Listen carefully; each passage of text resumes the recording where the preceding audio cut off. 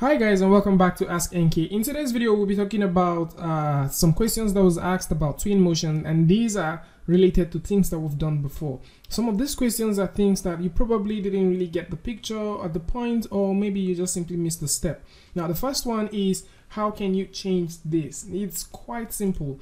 The question is this that if you want to change this, that is if I get it right, you need to go over to the materials, come over to ground, select something like man-made and then you can have man-made grounds.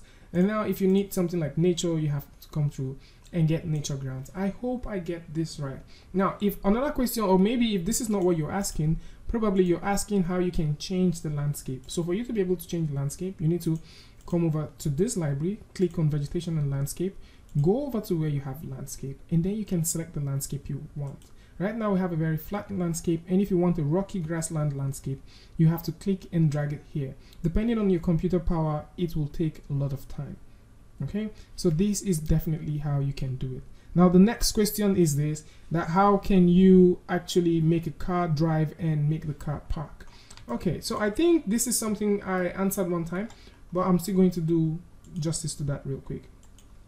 So for you to actually make your car drive uh, to a point and park, this is what we're going to do. So just for clarity's sake, we're going to go over to furniture, go over to decals, and then we're going to find a parking symbol, right? So I'm just going to put this here. Um, I think that's a little bit too small, might not explain the idea. Yes, so we can put something like this. Now this is what we're going to use to show how the cat packs. So how we can do this now is instead of coming over to here, all right, where you have cars, and, and drag the car and drop. Instead of doing this it, it doesn't mean you cannot instead of doing this I'm going to show you a very cool and easy way of doing that stuff. So how you can do this real cool is to come over to this part here where you have uh, the urban setting. And within this urban setting I'm going to select parts. Now within this part I don't want to select the, the vehicle paths because if I do select the vehicle paths and start clicking and dragging guess what happens what happens is I get to see cars that would uh, automatically spawn and start driving around. And this is not what we want. We just want to have one car that should drive around. It doesn't mean you cannot change this. You can definitely change this to have just one car to drive. This would be cool, but this might not really be what you want because to every time that this car starts up, it spawns a new car. To every uh, stuff, to every time you get to see a new car spawn out. So if I understand what you want correctly, what you want is how you can get one particular kind of car, a very specific one, and drive it to a point. So what we're going to do now is we're just going to click here and have this and delete that stuff. So we're going to get our car by coming back to the part where we have urban, selecting these parts, selecting a custom path, and we want our car to drive from a particular point like um, here. So we want our car to drive from here drive to this part, drive here, and make a good parking here. I guess this is what we want. So if this is what we want, we are going to notice that we have a box that will travel through. And this box that's traveling through is just uh, more like a sample object to what you can work with. So next thing which we're going to do is come over to vehicles, then come through to this part where we have cars, and let's just look for a very nice car we can play with. So this car looks good. I don't know. I think it looks good. So we can have this particular car drive through. And since uh, Twinmotion is real time and it's being powered by Unreal, it simply means that at any point in time, you can just simply update the path to as you want. And then you can have the animation uh, simply play through. And I think this might be a little bit too far for the time range we want uh, this tutorial to last. So it's a little bit too far, so I'm just going to go ahead and drag it real close so it's uh, this close. So I think I guess this should work. Alright so let's just uh, come down to this car level and see what we have here. So I'm just going to hold down shift and pan all the way down.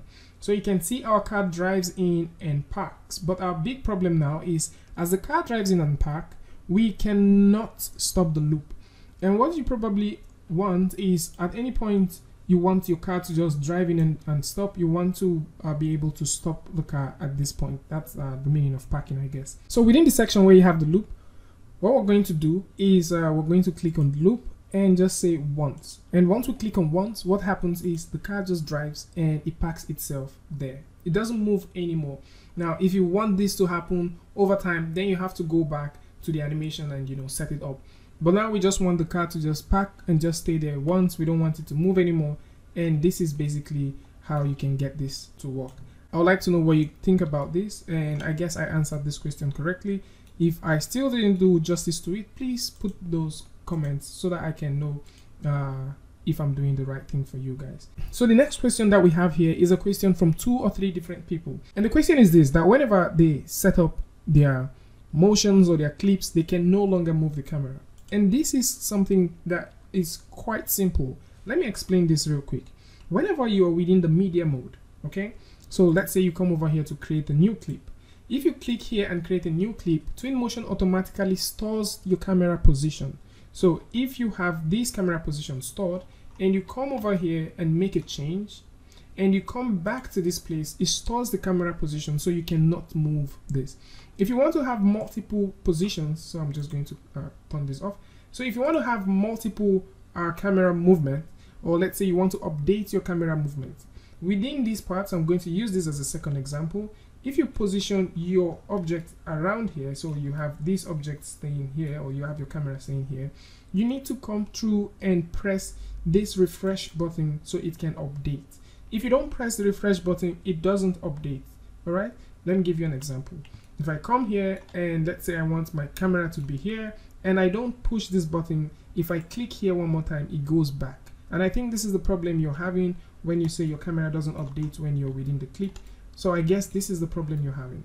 So this is how you can solve it. I think I covered something like this within the frequently asked questions. I would still suggest that you guys go ahead and, and take a quick peek at that and see how it works for you.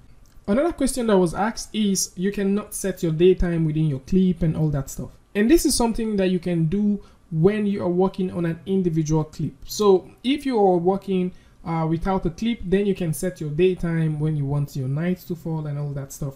But once you've started making an animation, Twinmotion understands that your animation needs to run from one point of the day to the next point of the day. Hence, you have the start here. And I think we covered this some time ago. So if you come through and just simply turn this all the way up or all the way down, you can set how you want your animation to start. So this is the mood you want your animation to start out with. And if you go over to this part where you have end, you can turn this down and this might probably be the mood that you want your animation to end up with. And next thing which you can do is within individual clips, you can go through and change the weather condition. So you can have it uh, be a little bit without uh, a sky or without clouds now. And let's just increase the, the sunlight a little bit, okay? And if you go back to this other one, we can still come here and change how we want our lighting to be. So we can say we want a little bit of more ambient and uh, we would like to have let's say rainfall or something so it is totally independent of what you are looking for so individual clips have individual stuff that they do so if you want to get your weather right your everything right you need to make sure that you set up the weather properly and you set up your lighting condition properly before you go ahead to start creating your clip. Else if you don't you need to go through and create them individually. And this is about it. And finally like i've always said whenever you're making your animations or something like this as far as it has reflections always try as much as possible to add a reflective or a reflection probe. So, so we're going to just here and drop and add a reflection probe. So you can come through and increase the size and then you can see we're having the reflection happening uh, real way way better than what we had earlier right? So if you want if you want to check this out you can you know simply come through and and check this out for yourself and see what it looks like alright? So always uh, add a reflection probe at any point in time. You can see now we have reflections happening here without the reflection we have the screen-based reflection things you can find in other apps but now you're having a proper reflection and you know you can increase the brightness of the reflection if you want you can also increase the transition of the reflection and always update it at any point in time you make changes Finally, this is basically something I've talked about before. If you don't get to find all of these artifacts, you can come over to edit, go to preference, and make sure you have your artifacts turned on. So if you come to appearance, you can choose to see your visual helpers, right? You can choose to turn on the visual helpers, turn it on and turn it off. If you turn them off, you'll probably not be able to see them. If we come back here and turn them back on, you'll be able to see your visual helpers and basically i guess this is all about it if you have questions about what we've done in previous videos or maybe you have questions about this please please put them in the comment section below. And if you like this video simply give it a like. And don't forget to share with your friends. And if you're new here it would be awesome if you can just go ahead and hit that subscribe button uh, so that you'll be the first to know once we upload a new video. And until i see you guys again with a tutorial review free friday updates tips and tricks things like this guys. Peace